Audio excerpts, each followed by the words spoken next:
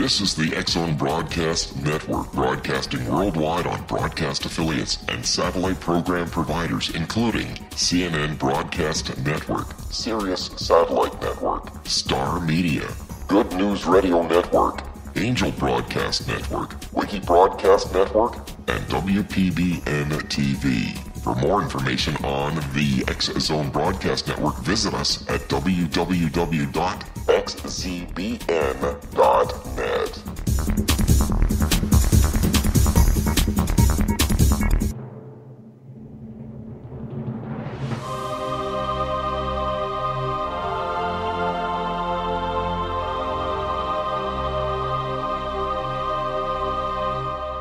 The Science of Magic with Gwilda Wiyaka is largely an opinion talk show. All opinions, comments, or statements of fact expressed by Gwilda Wiyaka's guests are strictly their own and are not to be construed as those of the Science of Magic or endorsed in any manner by Gwilda Wiyaka, Relmar McConnell Media Company, its affiliated networks, stations, or employees.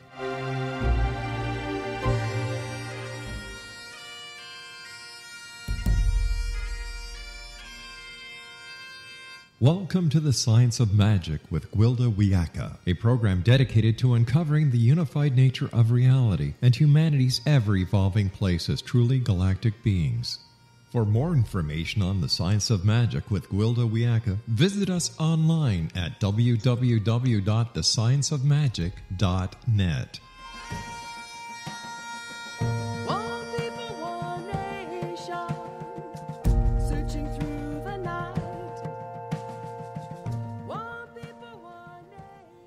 Welcome to the Science of Magic, a program combining the science and magic of today's leading topics to co create new solutions and promote evolutionary thinking. I'm your host, Gwilda Wiyaka. This hour we'll be exploring purpose. Many of us come with a driving sense of purpose. Sadly, only too often, we die feeling we never lived it. This was driven home as I sat by the deathbed of one of my shamanic clients. He and his wife wanted me to be there to help him cross.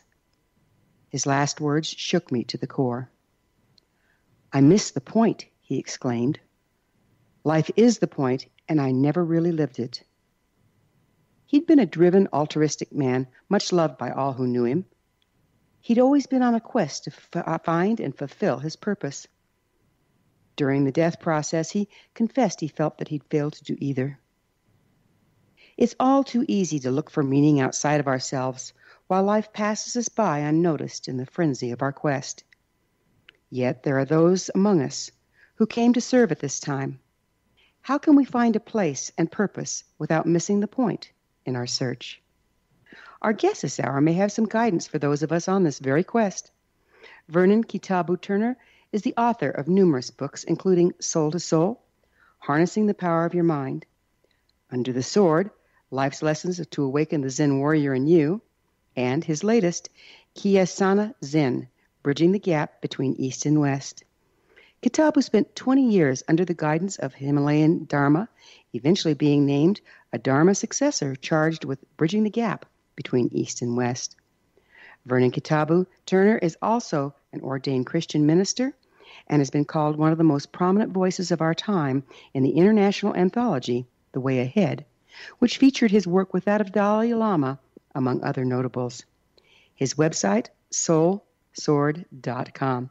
Kitabu, thanks for joining us on the Science of Magic. Thank you, Gwilda. So, have you personally experienced a driving sense of purpose? Oh, yes, all of my life. How how young were you when you really started noticing it? I think um, I really became aware of it when I was about nine years old. Was there a particular event or anything that led up to that? Oh, yes, there was. I had a an epiphany when I was at um, church with my parents one uh, Sunday, and um, what happened was the preacher was preaching about um, the atonement, which Christ was on the cross, and I had a mystical experience of being transported back there. Mm. And uh, in that experience, I felt the weight of the world upon me and the wretchedness of my condition.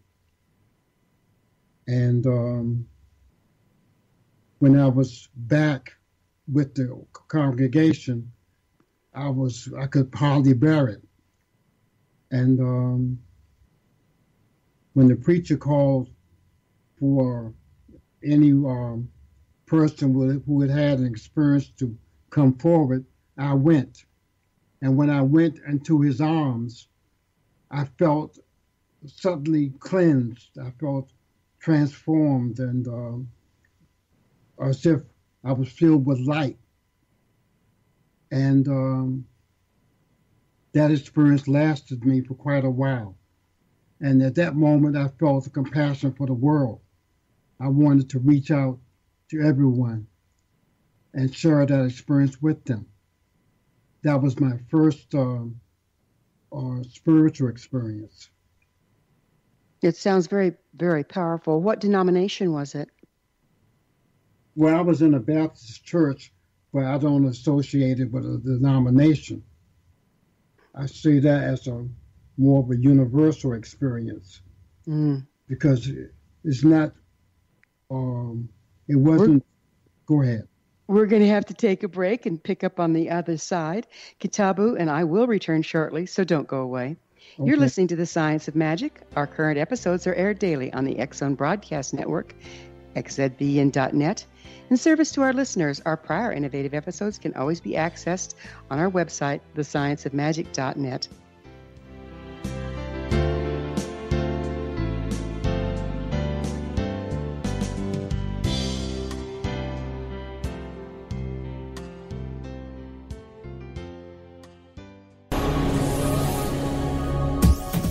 This is the X Zone Broadcast Network, broadcasting worldwide on broadcast affiliates and satellite program providers, including CNN Broadcast Network, Sirius Satellite Network, Star Media, Good News Radio Network, Angel Broadcast Network, Wiki Broadcast Network, and WPBN TV. For more information on the X Zone Broadcast Network, visit us at www.xzbn.net.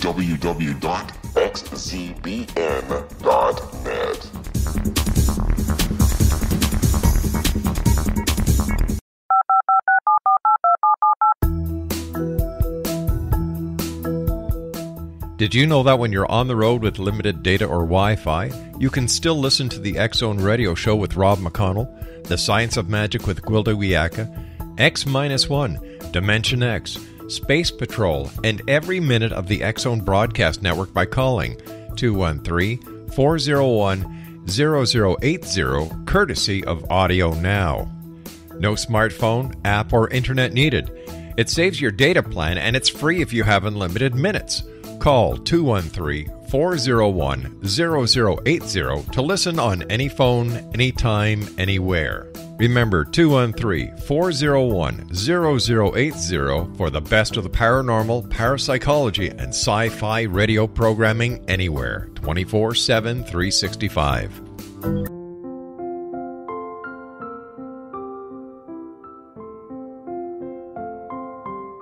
I am Dr. Carl O'Helvey, founder president of a new cancer foundation focusing on evidence based physical, mental, and spiritual interventions, including natural cancer cures, prayer, meditation, affirmations, nutrition, and other related holistic cancer prevention and cure modalities. These are used in cancer education, research, and financing care. I ask for your help to continue this important work by donating at www.holisticcancerfoundation.com.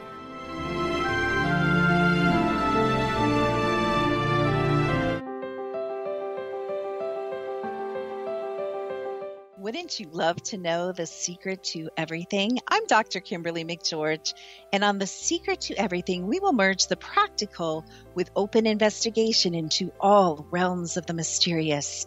We will talk to cutting edge alternative health practitioners, those who inspire and motivate you in business and life, And of course, we will share stories of the paranormal, conspiracy, and cryptozoology. You will transform because of the frequency I carry, the frequencies my guests carry. Life may never be the same after you listen to this program, for the secret to everything is for you, the listener, for those who desire more in every area of their lives and believe that it can still be found. Listen and discover the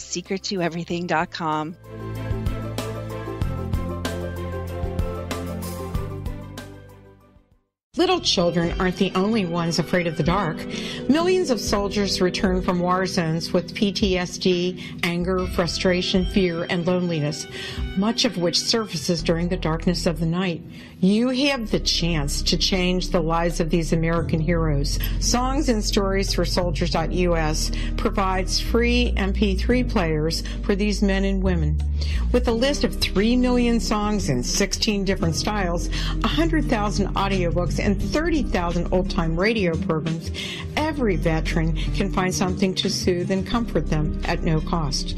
All our players contain an 8 hour audio program designed to help veterans fall asleep. With 1,500 plus vets now participating, it's our goal to deliver 10,000 audio players this year. Go to our website at songsandstoriesforsoldiers.us.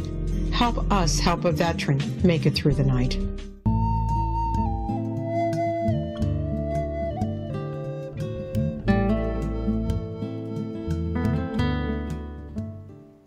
Welcome back. This is the Science of Magic, dedicated to unification and evolution of consciousness. I'm your host, Gwilda Wiyaka. Our guest this hour is author Vernon Kitabu Turner. His website, soulsword.com. Kitabu, I understand you spent quite a while in the martial arts. What forms did you study? Well,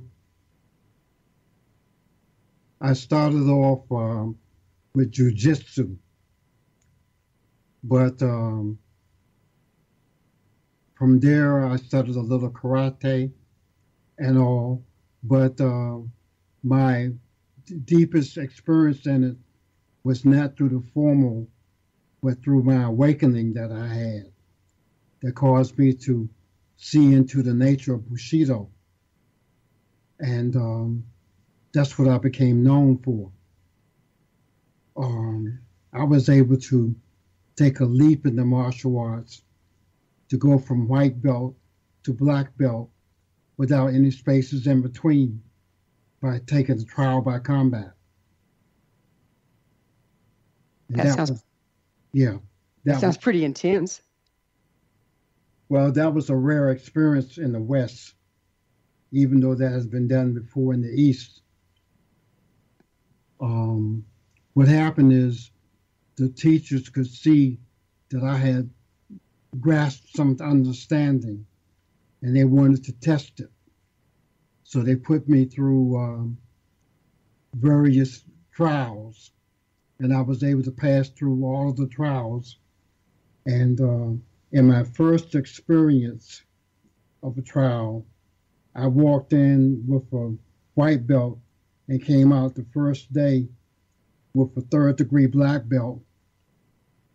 Um, and from, from then on, I was uh, ranked higher through subsequent tests. Kitabu, what do you where do you think you were getting your information? Where did you tap in to know how to do all the moves to pass those tests? Well, I learned that later from my my guru teacher, Prajna, instinctive wisdom, that we have within us a ocean of instinctive wisdom that if we can tap into it, all kinds of uh, knowledge is available to us. And so I was able to tap into that because I had lived a meditative life um, most of my youth, and I didn't question it. So How do you mean you lived a meditative life? I um, spent time in silence from my youth, from my, um, you know, just sitting under trees and going by the river and sitting there and being quiet, searching within myself. And I didn't know what I was searching for. I just felt a call to search within. Mm, mhm. That's What- before I became in contact with teachers. What part do you think martial arts played in your life's path? Well, it gave me a form to deal with, something uh, you could see, and something other people could see. So it was like a uh, a beacon. It it gave people something to view in the way I carried myself, my countenance, and they remarked on it, and that triggered my uh, inspiration. You know, in, in 1967, you were initiated by a Zen master. Would you mind sharing a little bit about that? Okay. Well, how I came to be aware that Zen ex- existed was through um, a paper I had done in school. I had written an essay, and my English teacher in Eastern District High School uh, asked me if I had studied Zen. And uh, she said her husband had a degree. He was a he had a doctorate in Oriental philosophy, and he had read my paper and wanted to know if I studied Zen. And I told him that I did not know anything about it. So they gave me a gift of a book called The Three Pillars of Zen by Philip Kapleau. And um, when I read it, I was uh, inspired because it sounded like how I felt. And um, that summer, I was um, going, I was in the park. I was going through a deep period of depression.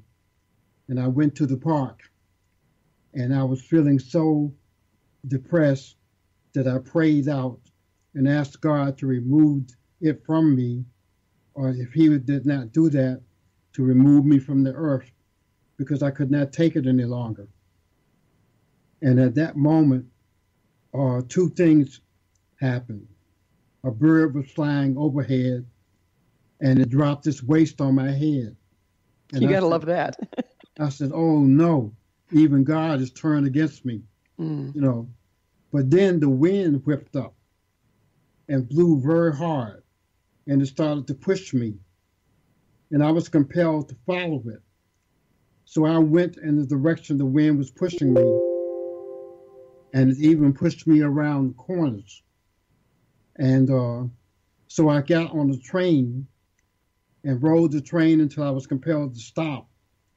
And um, I was I was in New York at the time, and I went to Greenwich Village, and I got off at Washington Square Park. And when I got in the park, I felt the spirit of peace come over me, and I kept walking, and I saw this man sitting with a kimono on, and his hands folded as in prayer and gasho. And uh, I waited. And when he looked up, he asked me how could he be of service to me. And I said, I'm interested in learning about Zen. And he said, I'm a Zen master, newly arrived from Japan. And there were 10 million people in New York. And in that one moment, I was drawn to him. Mm. That was the miracle. And he invited me to come to his uh, Zendo. And he was the one that taught me how to sit formally in Shikantaza, the just sitting practice of, of Zen. But that's how I met him, through a mystical experience. You know, as you as you speak, Kitabu, uh, several times I felt overwhelming sadness. Was there um, a sadness in your childhood that you think helped you to um, start seeking so early? Yes, as a matter of fact, um, I think that sadness or deep sorrow was what was moving me in my youth. Um, um, one of the things was there was um, um, a schism between my father and me, and um, that disturbed me. But um, beyond that, there was this deep sense of um, separation from the world. Mm-hmm. So, like you came in with a sense that there should be better connection or more connection than what you're experiencing. Yes. Would you tell us about your experience with the Himalayan Dharma? Well, that also came about through a mystical experience. Um, that was about 10 years after I met the Zen master. And um, I was in Virginia, and a friend came by and told me that uh, she had read in the paper about this guru that was coming, that was in town. So she gave me the newspaper to read and I read the, the article and I saw the name Sadguru Sant Keshavadas. And when I read the name, I felt emanations from the name and I knew I had to meet him. So I um, said, let's go to the, hear him. So she and another friend and I decided we would go. And when I went to the Aquarian Age Yoga Center to see him, I was um, caught because when I looked at him, I saw a white light shining around him. So I questioned my friends to see if they saw it also, but they said they saw nothing. So when he finished speaking, I knew I had to talk to him privately. So when he, when he um, was finished, they took him in a back room, and I went back there, and they had guards on his door, but I had already been training in my Zen experience, and I didn't stop at the door. I just kept walking as if I was going to go through the door, and they opened it for me. And when I went in, he was sitting with some with just a few disciples. And I bowed and touched my head to his knee. And he put his hand on my head and began to pray for me and um, to bless my mission.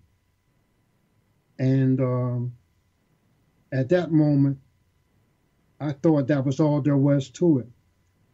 So I got up to leave and I walked out of, I was walking out of the building when Om Kadash, his uh, disciple of 18 years, a Swami, came behind me with a rose.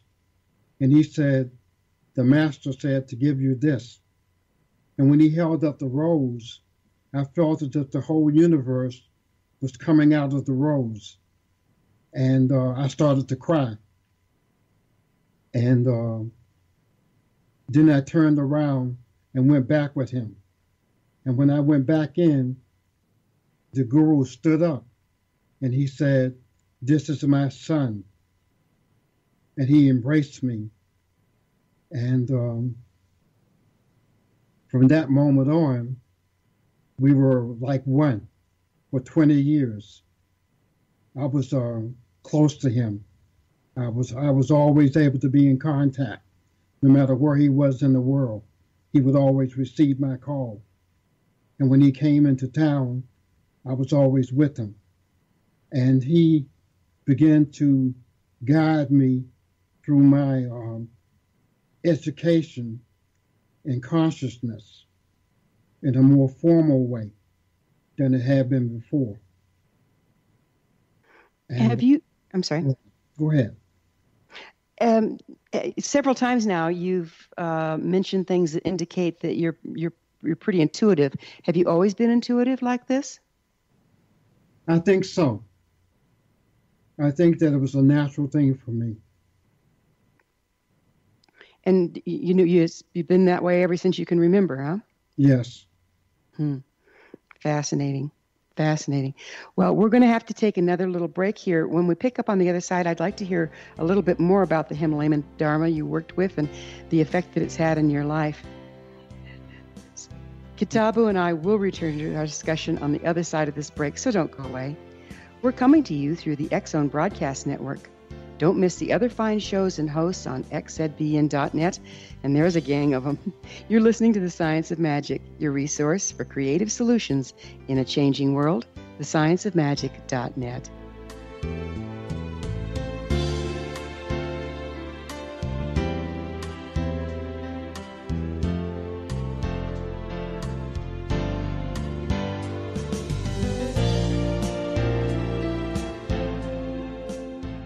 Hi everyone, Rob McConnell here, and I wanted to spend a moment on internet streaming. Everybody has heard about internet streaming, but not many know much about it. Did you know the internet streams just about everything? Movies, From new releases to old classics. TV shows, Almost every show, every episode, and much more. But the question has always been, how do you do it? Well, now, thanks to the folks at 123 Ready TV, I have the answer for you. They have developed a simple program app, 123 Ready TV, that you install on your Windows PC, Android smartphone, or Android tablet that can have you streaming like a pro in less than five minutes. You truly won't believe how much is available or how easy it is to do until you try. And for a one time cost of only $19.99, this product is a real winner. To learn more about 123 Ready TV, visit our website at www.xzbn.net.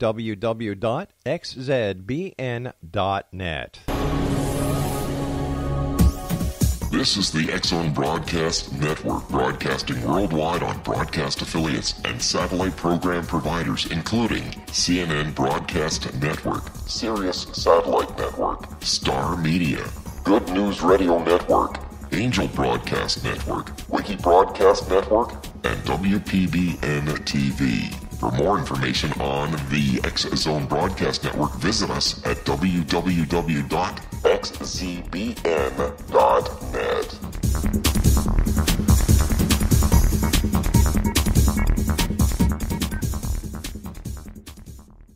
How would you like to be able to read other people's minds? Well, the next best thing is here. When you know how to read a person's name, you know how the person thinks, feels, and behaves. Each letter in our name holds a key to unlock our true essence. Our name contains both our gifts and challenges in this lifetime. Nemology science discovers personality secrets hidden in the placement of the letters of our names, including the first and last impression people remember about us. Sharon shows us how to interpret the arrangement of letters as outlined in her book, Know the Name, Know the Person. Sharon Lynn Wyeth created nemology science after 18 years of research and testing her theories and has supported thousands of people around the world in understanding themselves and others better. You'll enjoy Sharon's unique teachings as she shares her system to learn the gifts behind your given birth name. Even if you don't like your birth name, there are jewels in this book. If you're thinking of changing your name, ready to name your child, or wanting to get along better with others, this is the book for you. If you'd like to improve your relationships and change your life for the better, get the book today, Know the Name, Know the Person, or visit www.knowthename.com. That's www.knowthename.com.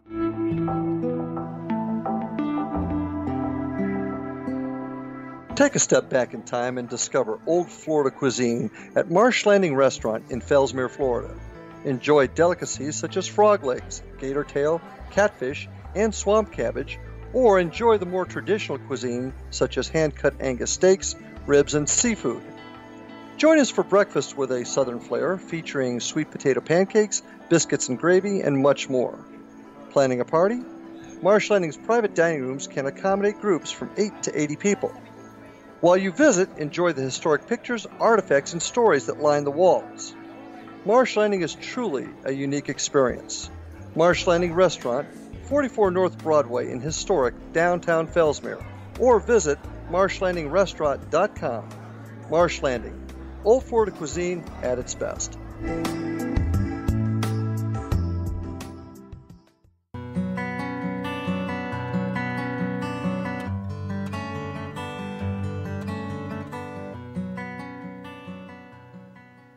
Welcome back. This is the Science of Magic, a place where magic and science come together to promote enlightenment. I'm your host, Gwilda Wiyaka.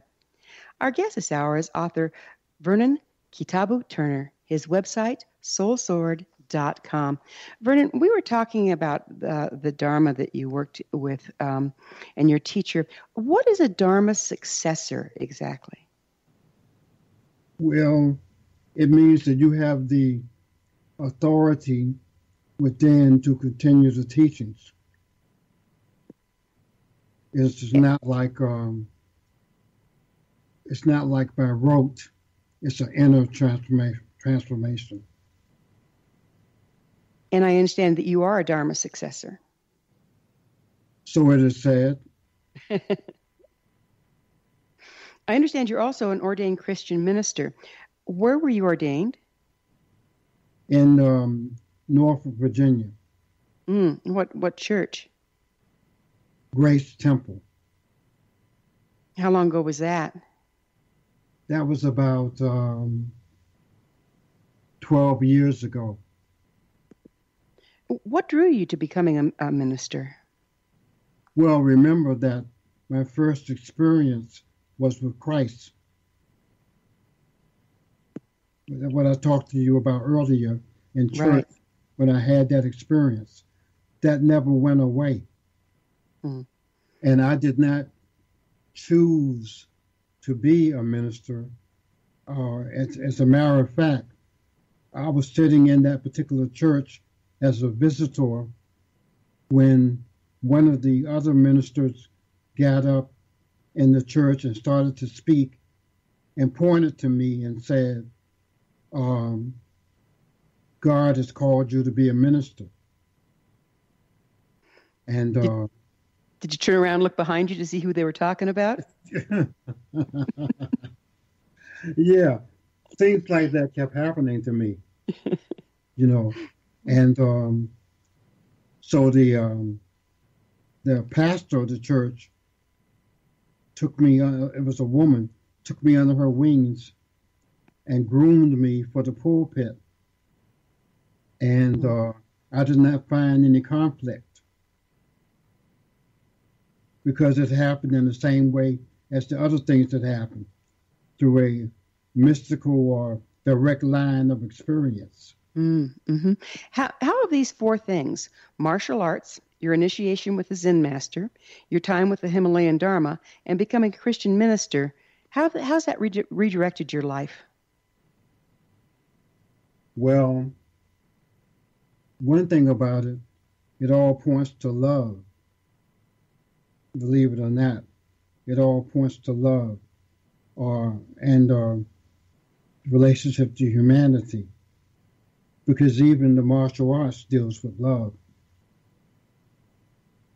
Um, it's made me more aware of my relationship with other beings and um, with the martial arts thing, it helped me to become more aware of my physical relationship with my balance between myself and others. And with the spiritual, with the Dharma, it was about universal consciousness, the cosmic mind. Where do you think your life would have gone without them? I don't know if I would have had a life.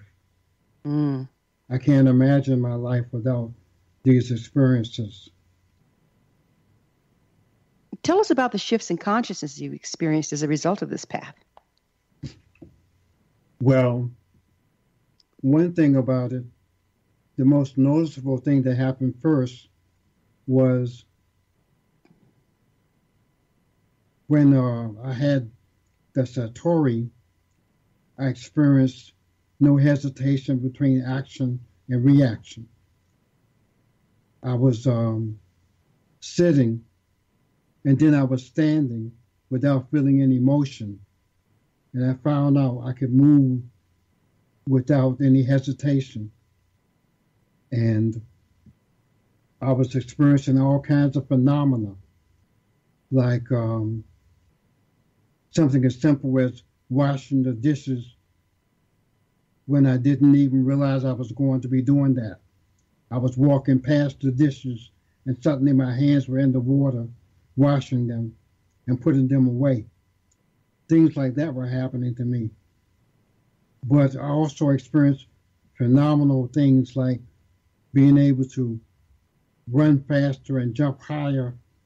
And um, my martial arts ability went from conscious to unconscious because I had studied consciously for a while. But when it went unconscious, I was able to move without thought, without being aware of how I was going to move. And um, I wanted to find out how deep that went. So I went for tests. I always, I never did trust my own feelings alone. I wanted to be tested. So I went to see masters and let them put me to the test. And um, they will put do their put me against their best students or even try me themselves and then marvel at my ability to come through it. And um, there was no explanation because it, it wasn't through formal study. Well, you know, it sounds to me like true mastery and embodiment of the form. And it's, it seems like that should be our birthright. Why do you think we've gotten away from that? because we become attached so much to form. We are essentially spiritual beings, but we become attached to the, the body, to the flesh, so deeply that we associate that and all other forms with being ourselves. And so we've gotten away from that. But when we get back into our intuitive being and we relate more back to spirit, we're able to pick up things from that level. And I think that's what I was able to do. So you're saying that the body, it's not that the body's not important, it's just that we've kind of lost sight of all the others? Yes. Yeah, because as a martial artist, uh, I can see that you're very aware of how important the body is. Yes, the body is uh, is to shell, the housing to which we experience the world. So it is important, Mm. but it's not the motor. Right. How important do you think it is for all of us to experience shifts of consciousness at this particular time? I think it is very important because it allows us to really experience each other more deeply. That the reason we have so many problems in the world, so much violence in the world, and all, is because we don't we don't experience each other spiritually. We don't sense that kinship, that oneness that we could, where the love abounds.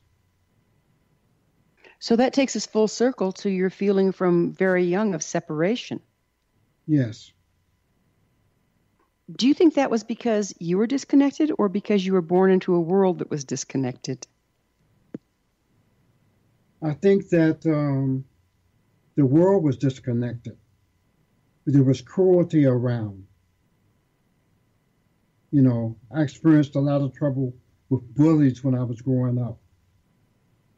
You know, I, I told you I like to sit in the silence and enjoy the peace, but there were bullies that uh, that uh, affronted me when I was young, and I was always being attacked for no reason. And so um, I became aware of that problem in the world early.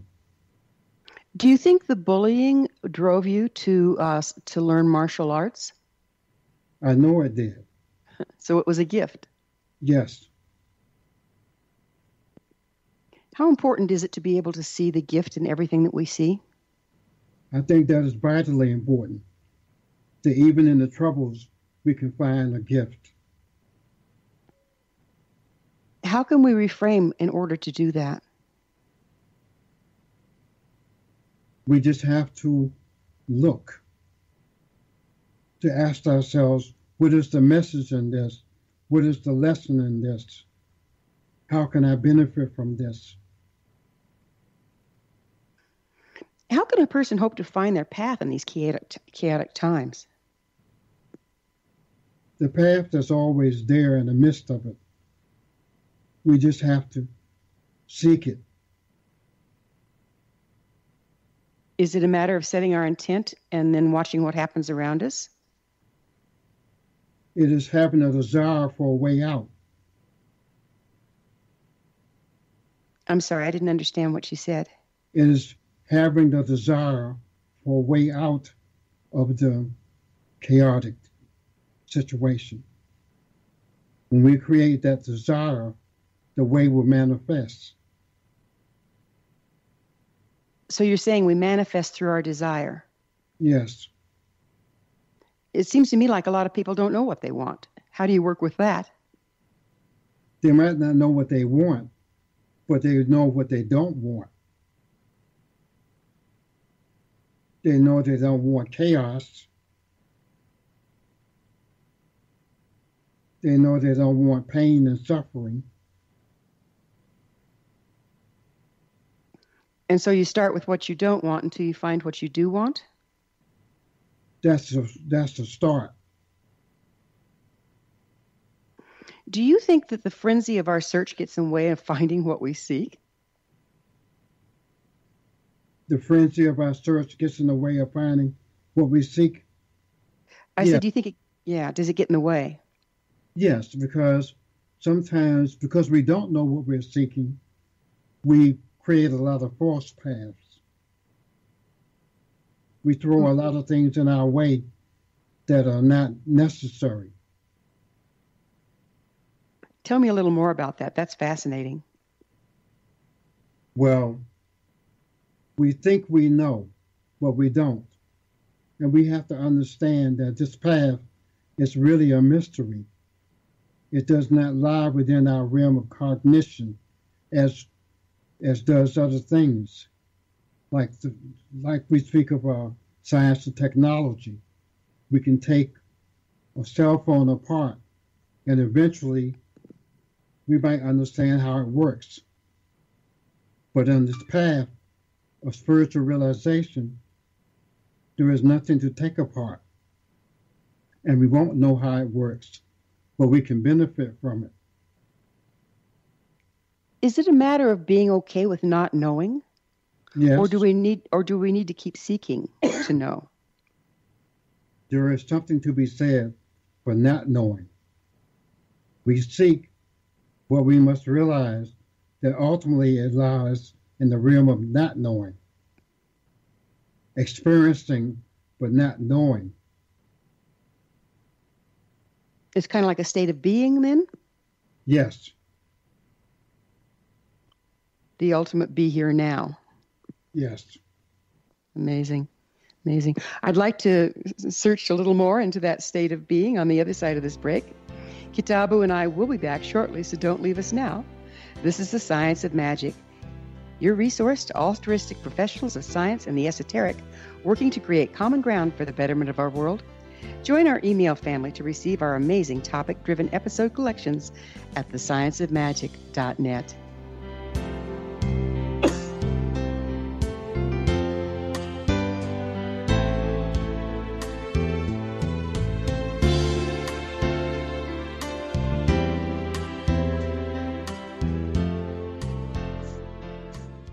Hi everyone, Rob McConnell here, and I wanted to spend a moment on internet streaming. Everybody has heard about internet streaming, but not many know much about it. Did you know the internet streams just about everything? Movies, From new releases to old classics. TV shows, Almost every show, every episode, and much more. But the question has always been, how do you do it? Well, now, thanks to the folks at 123 Ready TV, I have the answer for you. They have developed a simple program app, 123 Ready TV, that you install on your Windows PC, Android smartphone, or Android tablet that can have you streaming like a pro in less than five minutes. You truly won't believe how much is available or how easy it is to do until you try. And for a one time cost of only $19.99, this product is a real winner. To learn more about 123 Ready TV, visit our website at www.xzbn.net.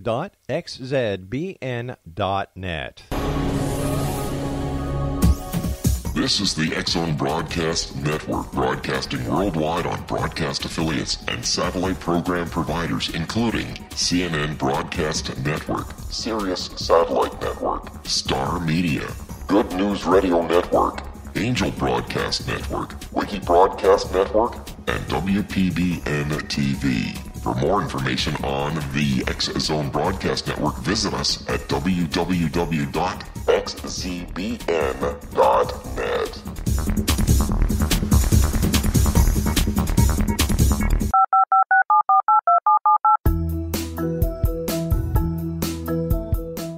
Did you know that when you're on the road with limited data or Wi Fi, you can still listen to the Zone Radio Show with Rob McConnell, The Science of Magic with Gwilda Wiyaka, X 1, Dimension X, Space Patrol, and every minute of the Zone Broadcast Network by calling 213 401 0080, courtesy of Audio Now. No smartphone, app, or internet needed. It saves your data plan and it's free if you have unlimited minutes. Call 213 401 0080 to listen on any phone, anytime, anywhere. Remember 213 401 0080 for the best of the paranormal, parapsychology, and sci fi radio programming anywhere 24 7 365.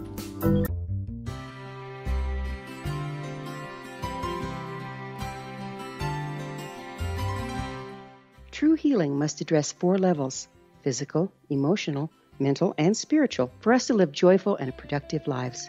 We tend to treat three of the four, leaving the spiritual languishing. If you're tired of the same dysfunctional patterns cropping up in your life, soul balancing is for you. Trixie Phelps, owner and founder of Soul Balancing, is a naturally gifted energy healer trained in numerous esoteric forms, including shamanism. Trixie has created a powerful modality that safely and effectively clears your energetic field. A soul balancing session can remove interference, heal trauma, and restore your hope. Contact Trixie for a life changing long distance session today. www.soulbalancing.world.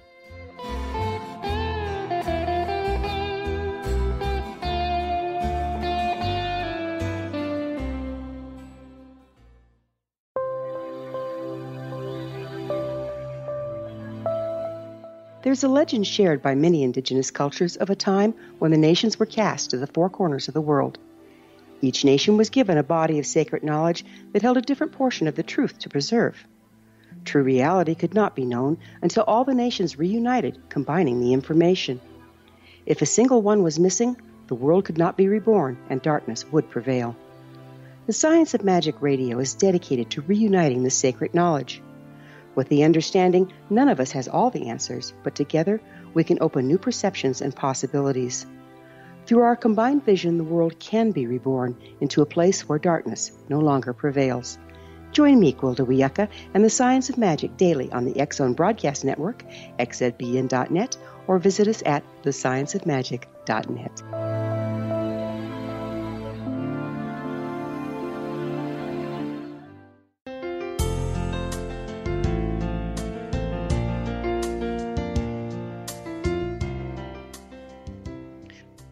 Welcome back. This is the Science of Magic, bringing together gifted people of service to the world. I'm your host, Gwilda Wiyaka. What's up in your world? Email me at info at thescienceofmagic.net and suggest a topic that's on your mind. You're probably not the only one interested. Again, our guest this hour is Vernon Kitabu Turner. His website, soulsword.com. Vernon, there, there's this beautiful line in your most recent book, Kiyasana Zen. Real peace and certainty is a personal experience. The roots of such virtues do not sink into the soil, but rise up from the soul itself. Would you go into this a little bit for us? Well, what I'm saying there is that real peace comes from within the person. It is not something that is available to everyone at the same time. Each person has to seek it for themselves within their own soul. That is the soul, not the external um, soul. So when you look within, you can have the peace, and you could be in peace in the midst of turmoil. The whole world could be in turmoil, but you alone could be in peace. What effect does that stance, uh, one of being coming from a place of peace from within, What effect does that have on the people around us and on, and on our world? Well, people who are seekers can sense that in you, and they will come around you and look for answers. You attract people. It's like the teachers attracted me. What do they say? When the student is ready, the teacher the teacher will show up. Yeah, when the student is ready, the teacher will appear. Yeah, yeah. It's kind of like that. That it, that you are available because you're in a state of peace. Yes. And you can sense that around you and be drawn to it and look for help. Each time I was drawn to the person who could help me. But at the same time, I attract people who need help. Isn't that the way life is supposed to work instead of what we're living now? I believe so. Why do we leave peace? It seems like when we're when, before we're born, we're we're in unity. That would be peace, and yet we're. The, it seems like the minute we're born, we're not peaceful anymore. What what happens there? We're being pulled more to the external world. We're being pulled more into the world of form, into the world of what I said, the flesh. We're being pulled into the uh, senses. When, when as a child, we are more inner directed. We are, we don't have a attachment to the outer, and so we're at peace. What is a Zen warrior? Now that sounds like an oxymoron. Not really, because it doesn't necessarily mean you have to fight, but it comes from the unconscious and effortlessness. But um, I can give you an example from my experiences. I've traveled around the world giving demonstrations, and um, I go to martial arts schools, and they pit me against black belts. And I don't fight them, but I'm able to stop them.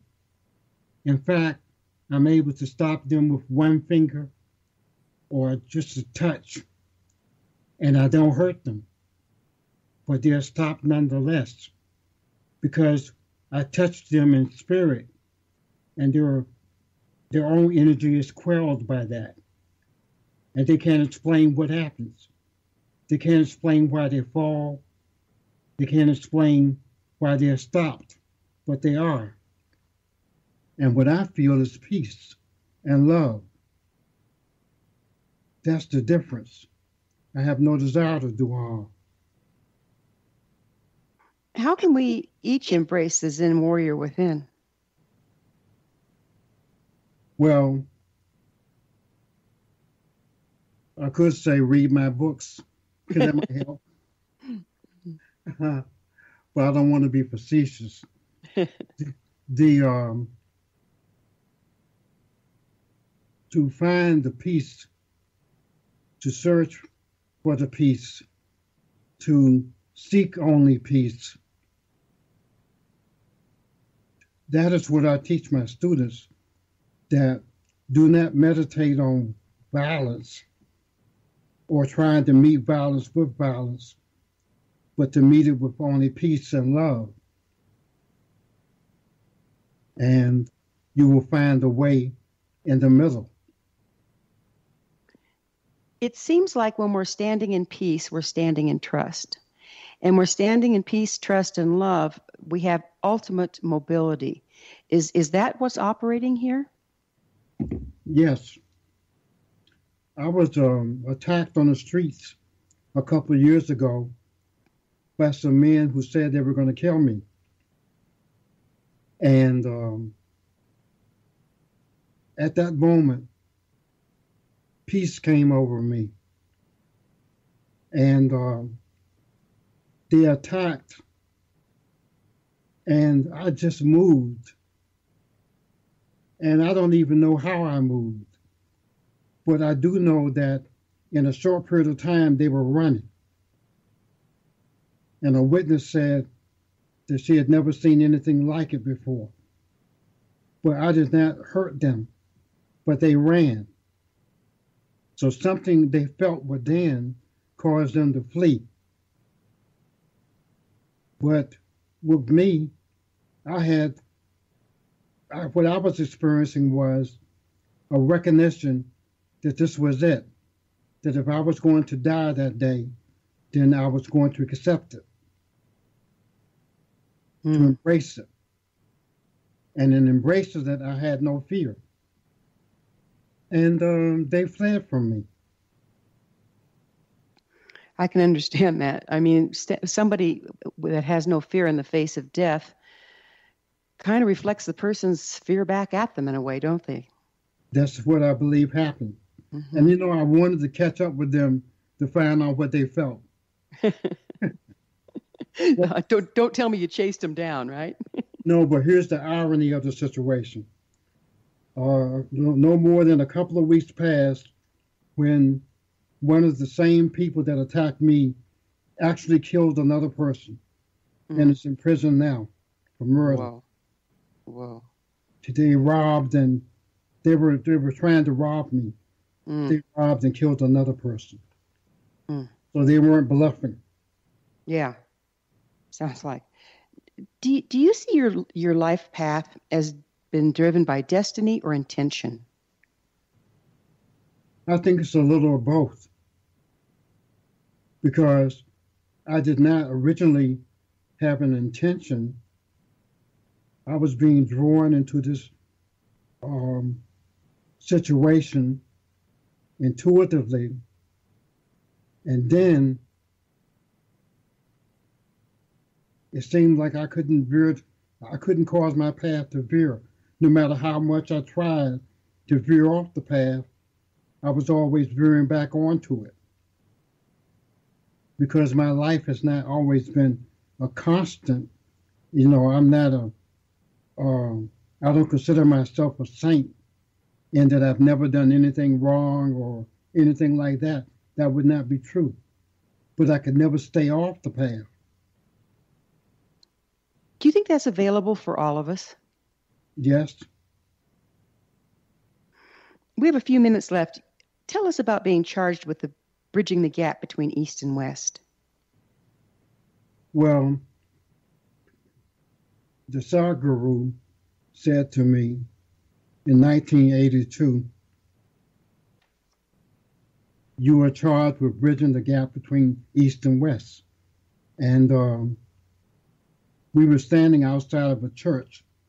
He had just spoken in um, a church, and I helped him set up that uh, meeting. And people were looking toward the East, but they didn't know what to do. They were either embracing it wholeheartedly and leaving behind the West altogether, or they were afraid.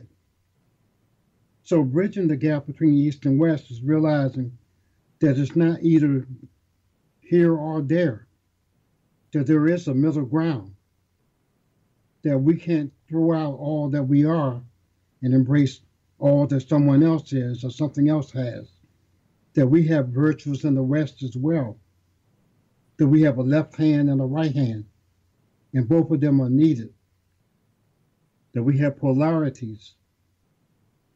And we need balance. So the mission for me is to be what I am, a person born in the West for having tasted the East. And it comes out for me naturally. Well, I'm so like- glad I'm so glad that you are here, embracing embracing both and bringing the balance to us. Thank you so much for being a guest on our show this hour. Thank you, Gwilda. hmm Our guest this hour has been Vernon Kitabu Turner, the author of many fine books, including his latest, Kia Sana Zen, Bridging the Gap Between East and West. His website, soulsword.com. This has been The Science of Magic. For in depth exploration of leading edge subjects from numerous authorities and viewpoints, join us at thescienceofmagic.net. Until next time, dear ones, may you be blessed with knowledge and comforted with love as you live a life of purpose.